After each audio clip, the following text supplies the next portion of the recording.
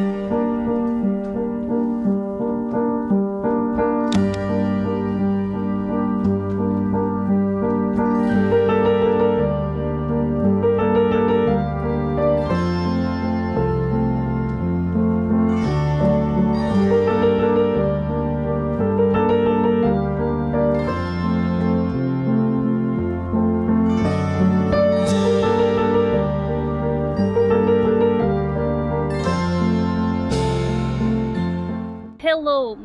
comrades, and welcome to Kiev, Ukraine. I'm here with my mom, Lena.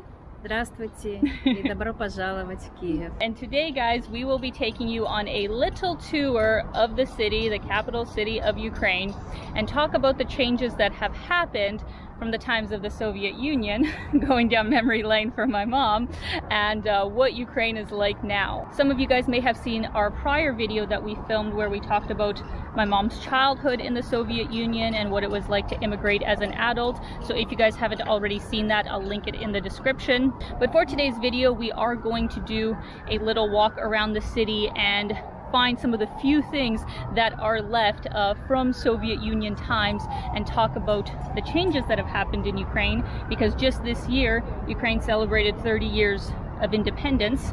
It's basically as old as I am. И я могу рассказать, какой Киев был 30 лет назад. Because mom, how many years did you live um, in Kiev specifically? Soviet times and non-Soviet times. 20 лет. Yeah, about Да. 20 years or so. Because before my mom did live in uh, Russia in her early childhood, but basically from your early teens, you were here. So I hope you guys are excited. Buckle in for a little tour of Soviet Ukraine. For those of you who don't know a lot about Ukraine or the Soviet Union, I will give you a brief introduction into that period in history. While Ukraine did have stints of independence before the Soviet Union, it had also faced occupation from other nations like Poland and Romania. It was in 1922 that Ukraine officially became a part of the Soviet Union. The USSR was comprised of 14 socialist republics that spanned Eastern Europe into Asia, and it had one federative state, which was Russia. It was in operation for 69 years under the communist ideology of Marx and Lenin, and it was a completely centralized government that put social equity above all. That meant there was next to no private ownership of property or business, everything belonged to the state, and society was indoctrinated from a young age to behave in ways that would serve society above self. So let's actually begin with where we are now. We are in the part of the city that is called Maidan Nezalezhnosti, which translates to Independence Square. This really is the main hub of the city. And even in my childhood, I remember that this square looked a lot different. there was one Yeah. really big fountain that I actually used to go swimming in. Is that correct? but mom, uh, how would you say like that this central part of the city has changed? Сейчас здесь много фонтанов, и они вот вечером включаются, и светомузыка. А раньше просто росли каштаны. Да? Большая такая, такой круг каштанов был, и даже, по- по-моему, проходил троллейбус. Вот Really? так вот в, в округе, да, и выходил на Крещатик. Мгм. И эта площадь называлась площадь Октябрьской революции, насколько я помню.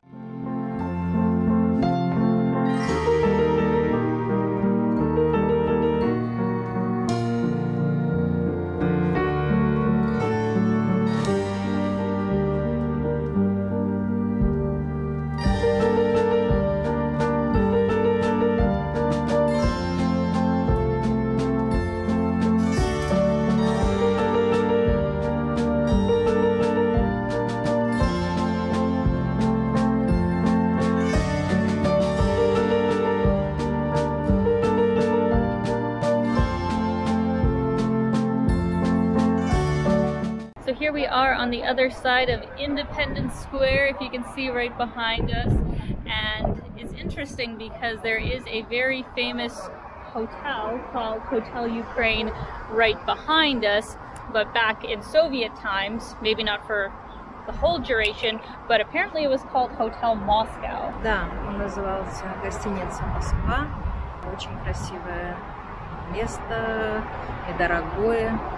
Шикарный Шикарный. советский готель. But in more modern times, what the square is most well known for is that it really was the place, uh, the start of the Maidan revolution, which began in uh, 2013. Э, В феврале 2014 года на этой площади э, собрался Майдан, Э, большое скопление людей, которые пришли со всех э, концов Украины, с разных областей, около миллиона человек, и они отстаивали свои права. Одно из них было вступление в Евросоюз, вот, а правительство Януковича не высказывало Хотели мнения. ближе к России быть. Да, и в этом было противодействие, противостояние. И вмешались военные, э, стрельба, и многие Погибли. погибли люди и со стороны э, милиции, со стороны простых людей. Вот, в общем, это было одно из темных и печальных страниц молодой Украины, как я считаю.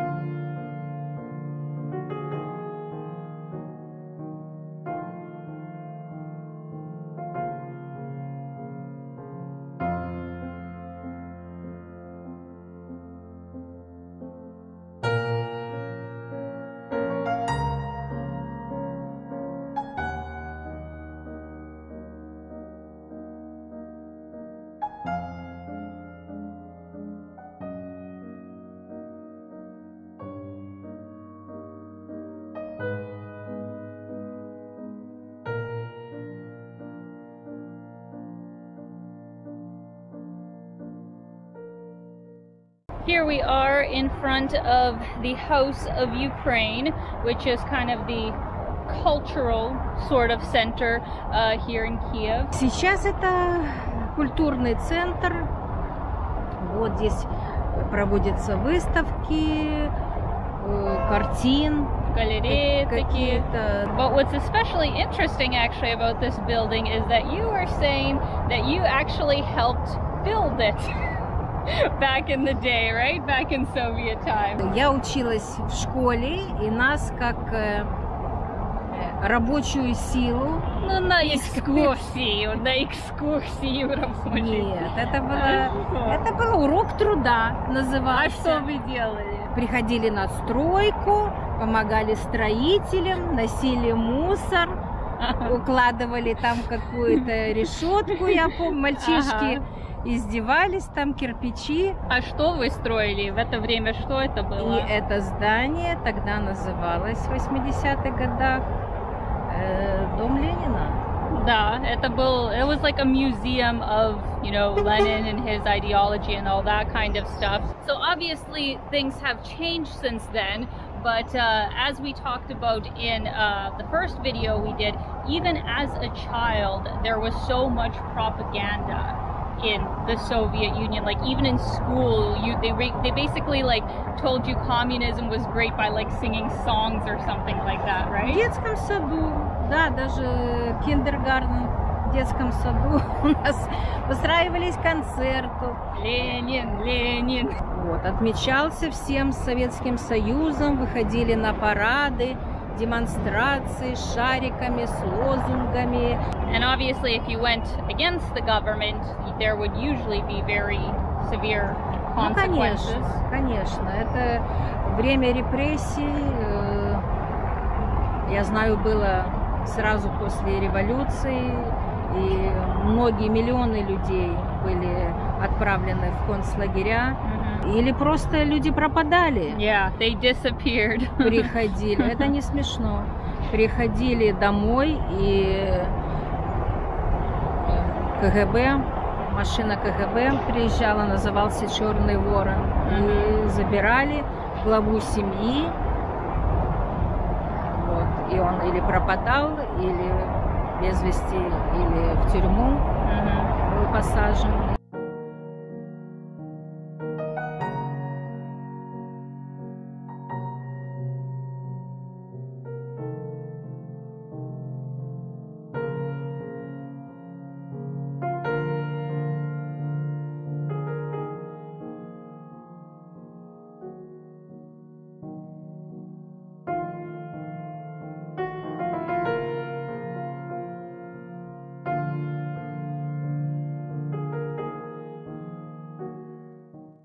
Walking down Khreshchatyk, being kind of the main downtown drag of the city with lots of restaurants, businesses, all that kind of stuff. Turkish restaurant. even a Turkish restaurant, I would say that even in my time here, there has been a huge expansion of businesses, especially Ukrainian owned businesses. And it's a really nice thing to see because back in Soviet times, it was basically illegal to have your own. были совершенно другими. Yeah. Меню в ресторанах было почти одно и то же. Да. Вот там э, котлеты, Винегрет. картошка, салат Наполеон, Да.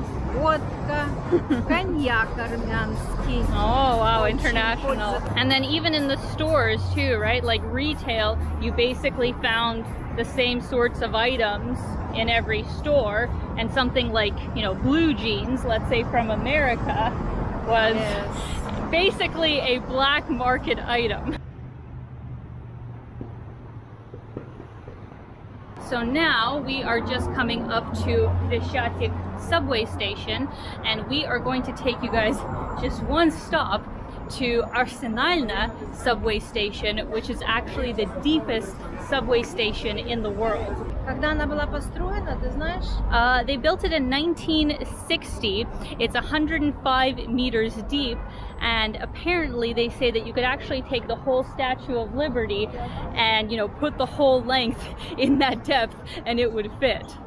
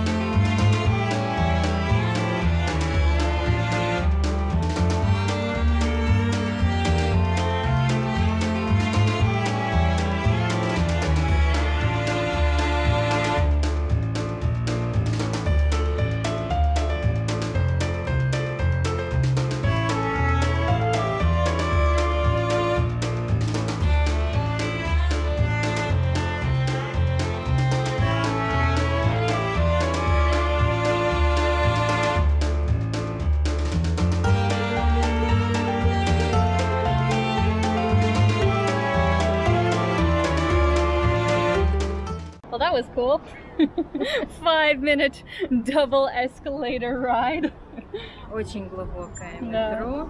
Ну, почти все метро были строены в советское время, здесь, Да. в Киеве. Да. Да. Было две или три линии всего лишь. Вот сейчас, конечно, увеличилось количество станций, да, Да. город расширяется. So where we will be going next is Rodina Mat, which translates to Mother of the Памятник. Nation. Uh, basically, it's like Motherland Monument in English, and it was built in Soviet times as well, да, right? это было построено в советское время.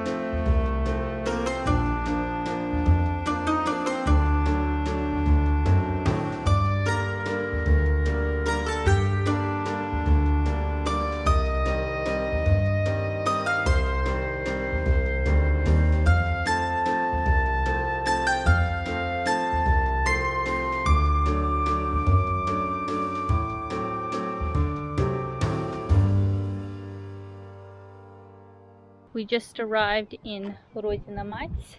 And mom, you were saying that you haven't been here since when? 40 years. 40 years? So like when you were a teenager you last came here? Jeez.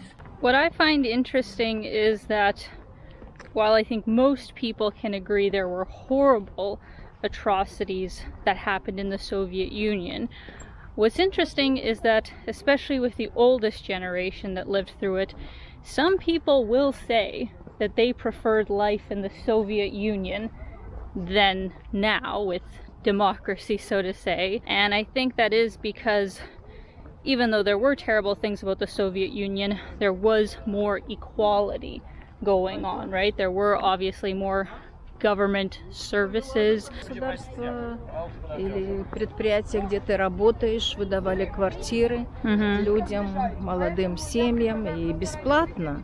Ну Это да. вас- but I guess it just comes down to the fact that I think at this point in time, nobody is uncorruptible when it comes to an ideology or a government group. Whenever you give one party so much power, it is bound to end badly. Ну, несмотря на все отрицательные стороны советского режима, советские люди строили государство. Они Yeah. верили в будущее, в свое будущее, в будущее своих детей Yeah. и старались Yeah. для этого. Well, they were a huge power. Like obviously, obviously, the Soviets were, you know, Да. made up of very hardworking people who did believe in that better future. So of course, there were many great things that were done in that time as well. Люди, люди сильные были. Вот. Ну, наверное, и сейчас, но другая степень силы.